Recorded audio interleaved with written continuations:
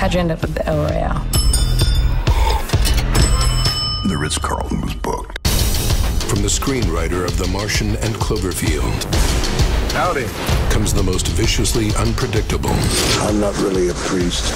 thriller of the year. Which side are you on? Are you good or are you bad? Feel free to flip that if you need to make a decision. I've done horrible things. So's everybody. Get the whiskey. Bad Times at the El Royale, only.